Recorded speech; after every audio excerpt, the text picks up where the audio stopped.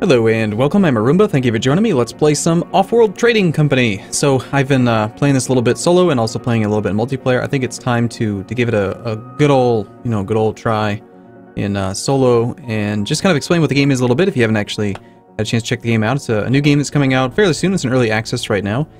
Um, I will say that um, based on its current level of development, that I, I personally feel like the, the price tag is maybe a little bit high for, for the game as is, but you know, it's maybe kind of the price of being early access. If, if you want to have access to the game now, you can pay a premium for it, I guess. I, I don't know. I don't really know how I feel about that, but whatever. It's a really cool game, so we're, we're going to try it out. We're going to have some fun. We're not going to do the campaign. We're just going to dive into some quick play so I can kind of explain a little bit about how the game works.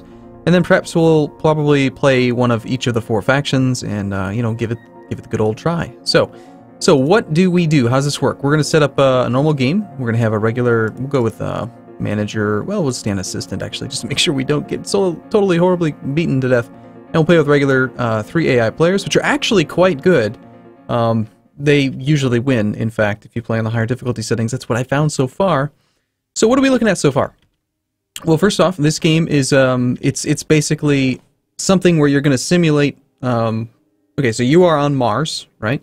And you are trying to build your company and buy out all the other companies and you want to do things that make you the most money as possible, whether it is buying low and selling high, getting a, a, um, a what's it called, a monopoly on a, on a market, or or just getting really good patents and inventions and things that give you a competitive edge over over the competitors, and then you buy out their companies, and that is how you win. So you start off, and what you see here right in the center is this is like the town, right? There's like a neutral town on Mars it's basically just there to cause some artificial demand for like water and electricity and you know all that, all that kind of stuff. And what we're going to do first is we're going to do some scanning to find a location that we can choose to put down our headquarters, whether we want to play as expansive, robotic, scavenger, or scientific. So let's go ahead and just do a little bit of scanning. High levels of water found. High levels of iron found. There's a little bit of everything right here on the center. Found. Now they have stated, and I don't actually have 100% confirmation of this, but that the uh, like the robotic voice is is a, like a placeholder, and I sure hope that's the case because I'm not particularly thrilled with the the sound. It's interesting, like they've got some some sounds that are actually voice acted, I think, and others that are not. So what what are we looking at so far, right? When you see these little things here, you're seeing the amount of a resource that's in a tile. Notice it's a hex-based grid. So this is aluminum, and it's a single, it's a low deposit. We've got a high deposit and a medium deposit. This is carbon, a brownish colored looking thing. This is iron. Uh, this is water. And this yellow guy here is silicon. So these are all resources that are going to be used to, to build and, and do whatever we want to do. We'll do a little tiny bit more scanning. Um, we do have no real huge rush to place down. So there's kind of like a, an opportunity cost type thing. Like if we place down our colony first, then we get maybe the best pick. But if we pick, place down our colony last, we get an extra claim, which, as we'll see very soon, claims are very important. So, I'm kind of of the impression that it's it's better to scan more, but I know some some people probably like to throw things down like right away. Every couple seconds, we're getting an extra extra scan available. These things are, are resources that we haven't yet identified. So tons of iron, tons of aluminum, um, a geo geothermal vent. Yep. So we can see here one of the AIs is settled right here. Um, so they've chosen to play as scientific. We'll talk about what those different types are in a moment. This is probably another geothermal. Yep. The geothermal power is very powerful. Expansive colony founded. Okay, an expansive. Colony expanded. Wow, expansive. He upgraded right away. Again, that's something else we're going to talk about when we get there. So he decided to settle here. Uh, we're going to go. We're going to go last. So we have two science, two scientifics, and a expansive. So let's talk about the different types of colony. Um, expansive colonies get extra claims for each headquarter upgrade, and you can upgrade your colony from level 1 to level 5, so that's an extra 4 claims just for being expansive. Um, as the name implies, you have lots of expansion. You can put down a lot of claims. You need 50% less steel for buildings and headquarter upgrades, and the base resource you use to do those upgrades is steel. Steel comes from taking iron and turning it into steel. Robotic does not rely on food, water, or oxygen, but does use electronics instead. You, you're essentially robots, right? Also, the headquarters does not require glass for upgrading, which makes sense because you're robots. You don't need glass, you don't need you know windows, you don't need to have any kind of oxygen or any of that nonsense, so it's kind of cool. Also, units use power instead of fuel. Okay. Extra bonuses for uh, resources that are collected under the HQ. If you place down a, uh, a headquarters on top of a resource, notice how it says right above the 100% bonus, 180 silicon. Whereas with expansive, uh, or maybe somebody that could actually fit there, 180 versus 90. So you get double for placing down on tiles. When you do that, you're actually ruining the tile um, for, for the future. Let me get these last couple scans done. We have them, we might as well, right? Game's still paused. It's like tactical strategy right here, turn-based pausing. Uh, anyway, and Scavenger can use the black market more frequently, learns about new news events before other headquarter types. And the base resource is carbon, so this is important.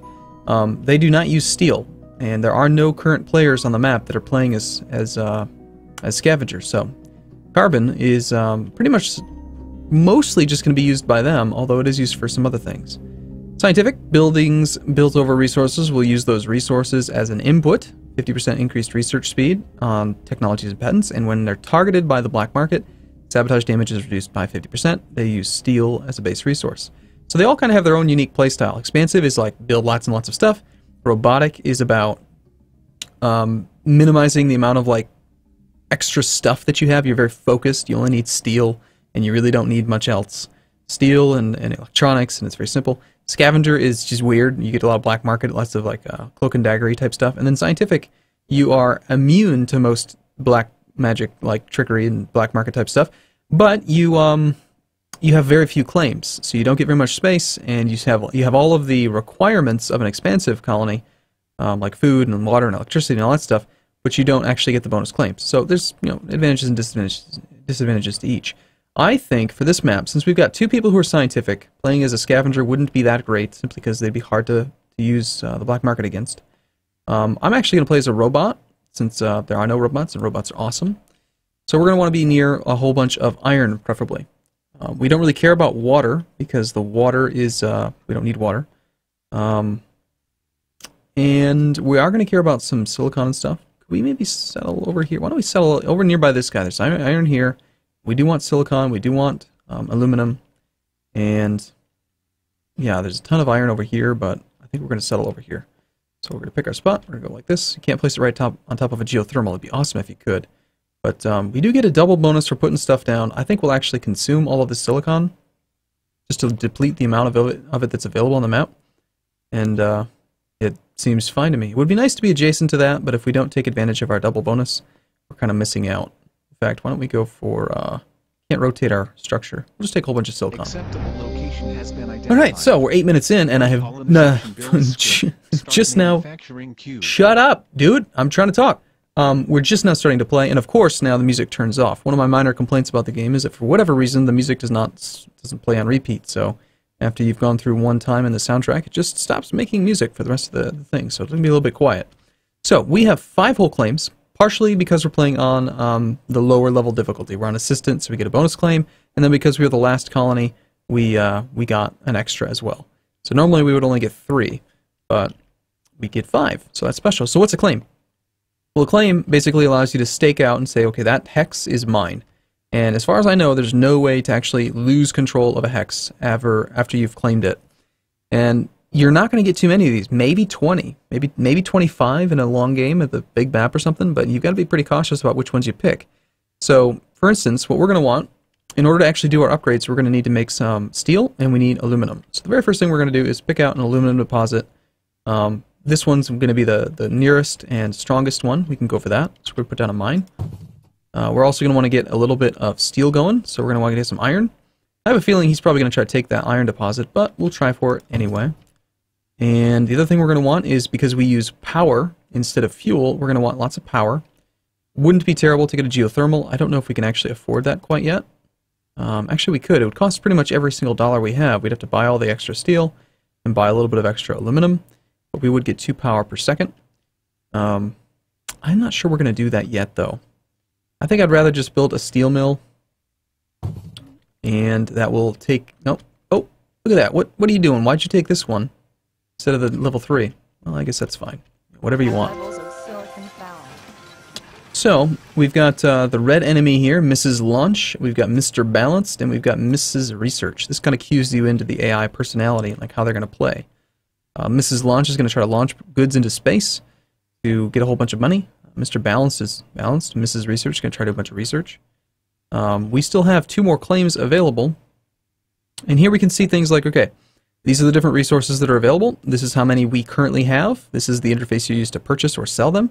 And this is the current price. Now, this is a supply and demand type market. So if there are a whole bunch of people using power and very few people generating power, every time someone buys power on the market, the price of power goes up. So it's very risky to um, rely on others for, for producing things. It can cause them to have a monopoly over you and uh, really screw you. Like if I, let's just say I had a, a monopoly on the power market and I just decided to stop selling it to my competitors, they could just go bankrupt because they would just have no money, uh, no power at all. And the price of power would skyrocket because there's none available. And uh, yeah, so we're to go for like self-sufficiency type thing. I think we're going to want to get an aluminum mine. Now, notice how, like, okay, I placed this one that's it's distant from our, our capital or our headquarters. That doesn't really matter. However, what will happen is every time we get the iron produced, it's going to fly from there to our headquarters. And it's going to send like a little boat or like a little ship. It's going to bring the stuff over there. A boat wouldn't make sense. There's no water. Don't ask me why I said boat. But um, that costs power, right? In in the case of, of our headquarters, since we're playing as robotic, if it was any other type, it would use fuel. Um, but again, because we're robotic, we use power instead of fuel. So, um, however, if you build stuff that's directly adjacent to your headquarters, then because it's connected, you don't actually have to send or ship any material that way. So what we can do is we can actually just get some silicon mining. Oh, we actually have a nice stockpile of silicon, so we don't really need to do that. But we can we can do an adjacent mine, which might not be as efficient as say this one, but it would give us the stuff directly, like as it's mined. But since we've already got one, I don't think we need to do it quite yet. So don't worry, don't worry. Gameplay will speed up here soon. Um, we're just going to kind of hold off on it for a second. So right now we can see iron is worth $14 per unit. Um, steel is worth 61. Our iron, uh, our steel mill cannot function because it doesn't have any iron.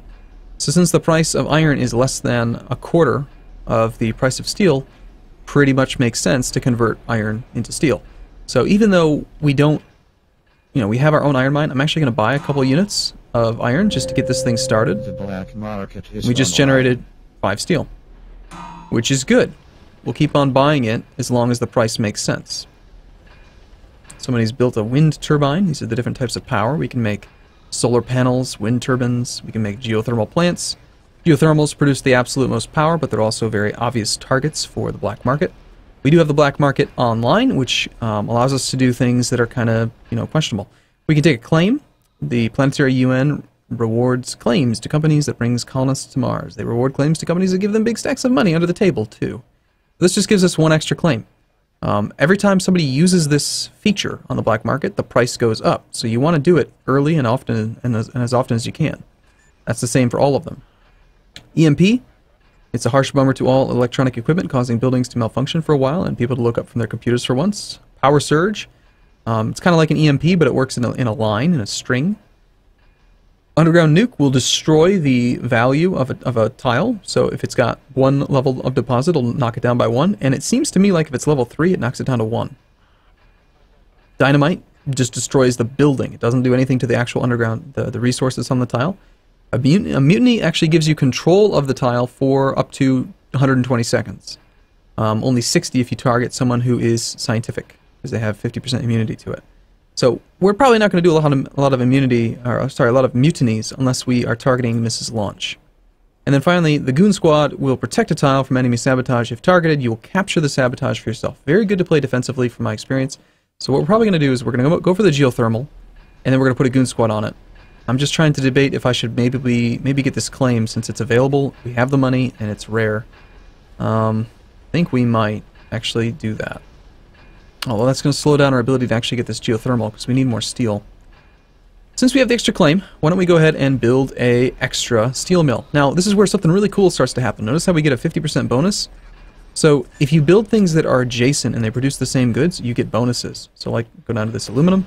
If I were to just, like, mine some aluminum, right, we get 1.5, we get 1.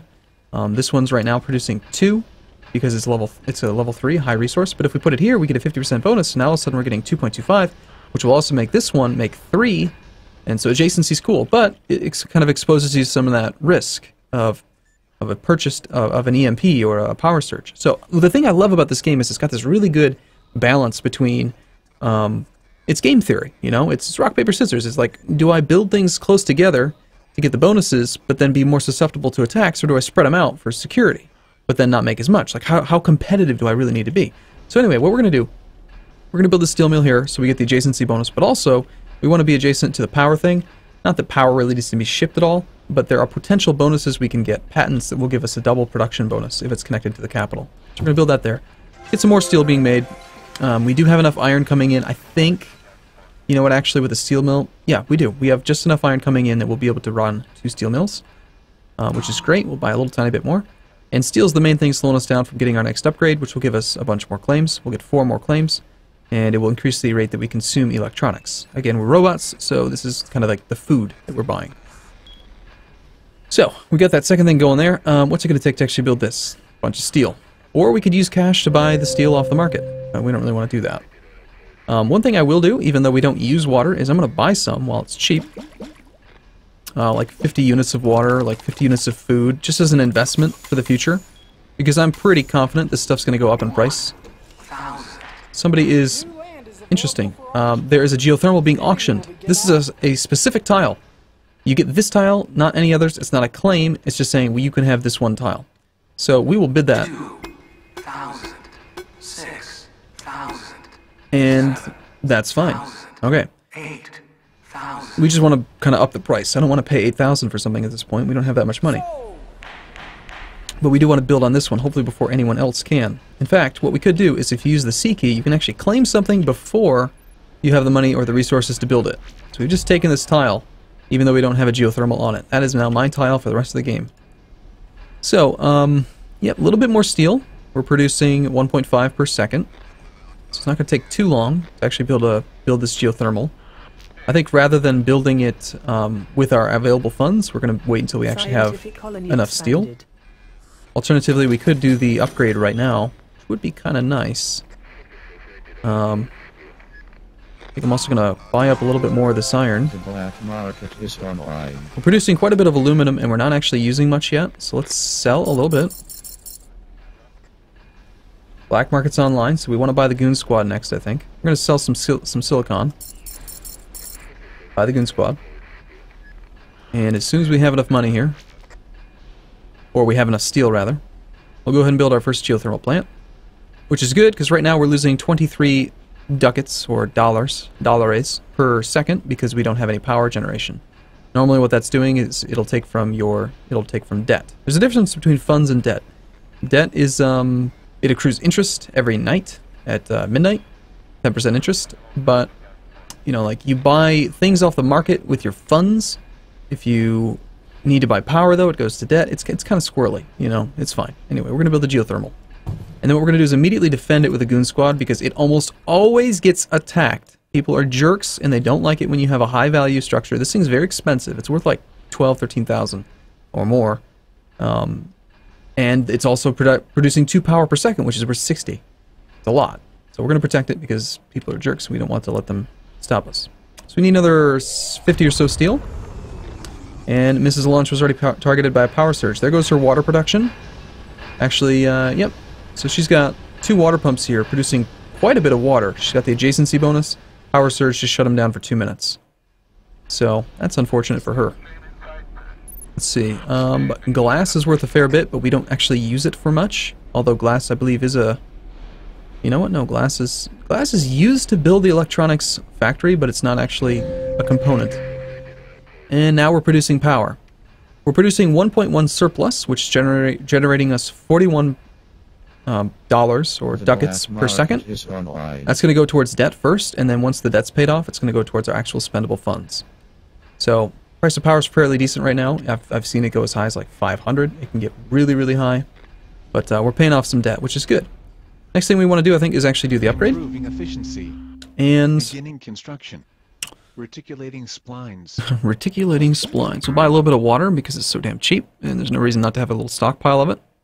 We could sell our steel, but that's kind of necessary for upgrades. More steel production would be nice, but it's also kind of putting a lot of our eggs in one basket. Let's go for it, though. We'll go for one more steel mill. we're going to need some more iron if we're going to do that. We will go ahead and put another mine over here. And we're also going to need some... Do we need carbon? I think not. Silicon, though, we do need. We've got a tiny bit that's adjacent. You can always find material just by clicking on it over here. It'll cycle through the different locations that are still yet available. So there's tons of silicon available on the map. Silicon's not actually that expensive yet. There's one deposit up here that's quite good. Let's go ahead and mine that. Um, it's going to require just a little bit of money to be able to build that mine because it takes steel. Let's wait till we have it. Alright, we'll go ahead and start mining that, even while it's fairly cheap.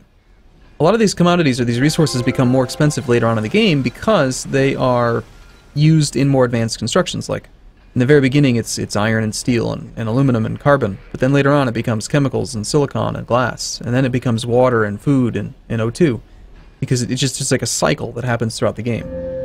So we've already been going for about 20 minutes. Normally I'd like to do like a one full-on like complete video, but I'm actually going to take a break here. Um, and in the next video we will hopefully have music again, probably not. But uh, we'll continue this campaign or this map, and uh, hopefully we'll win. So, cool. If you like videos like this, you want to see more um, Offworld Trading Company, then please do click the like button or make a comment or send it to your friends, whatever you want to do. Or don't, it's fine, whatever you want, but uh, it does help me out quite a bit, so I appreciate it, and I do look forward to seeing you in the next video. Thanks for watching, everyone. See you soon.